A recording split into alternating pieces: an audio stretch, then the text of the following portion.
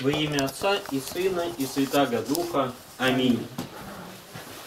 Из поучения Святаго Иоанна Златоустова на книгу «Деяния апостольских». Нет ничего холоднее христианина, который не заботится о спасении других.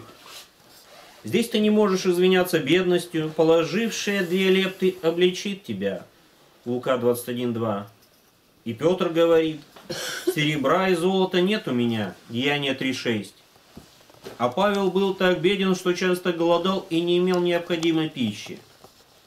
Не можешь извиняться незнатностью, и они были незнатны и не от знатных.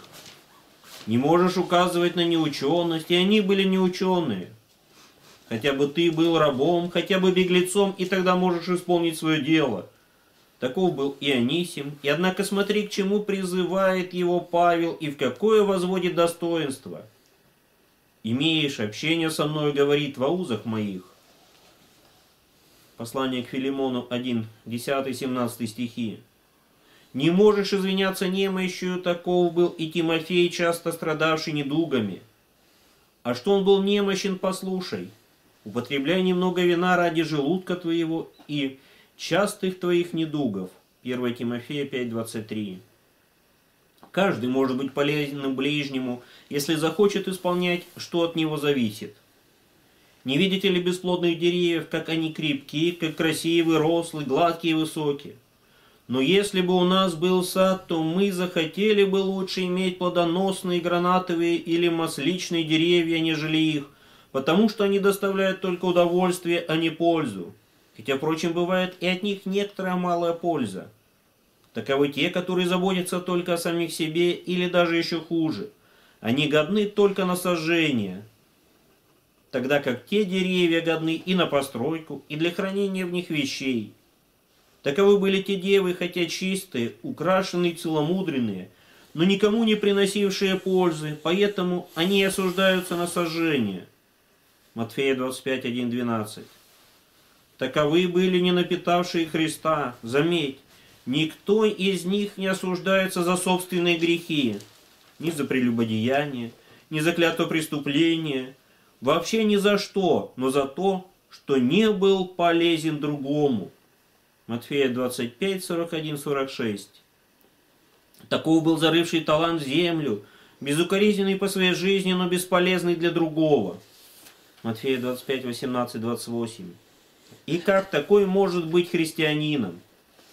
Скажи мне, если закваска, смешанная с мукой, не сообщает своего свойства всему смешению, то закваска ли это? Также, если мира не сообщает благовония приближающимся, то можем ли мы назвать его миром? Не говори мне, невозможно помогать другим. Если бы ты был истинным христианином, то невозможно было бы быть этому. Как то, что составляет свойства вещи, не может быть противно ей – так и здесь, потому что это составляет свойство христианина. Не оскорбляй Бога. Если бы ты сказал, что солнце не может светить, то оскорбил бы его.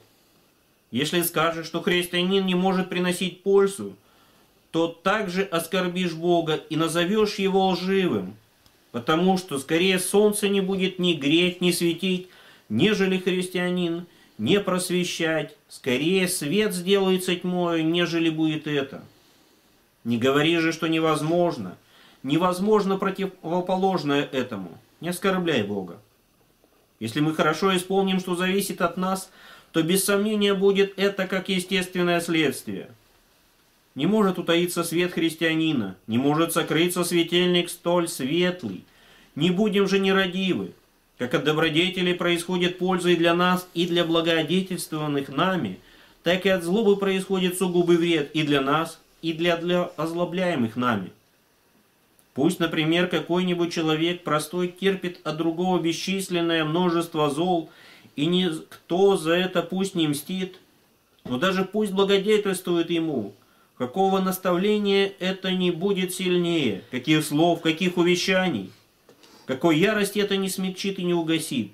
Итак, зная это, возлюбим добродетель, потому что невозможно спастись иначе, как проводя настоящую жизнь таких добрых делах, чтобы сподобиться и будущих благ, по благодати человеколюбия Господа нашего Иисуса Христа, с которым Отцу со Святым Духом слава, держава, честь, ныне и присно, и во веки веков. Аминь.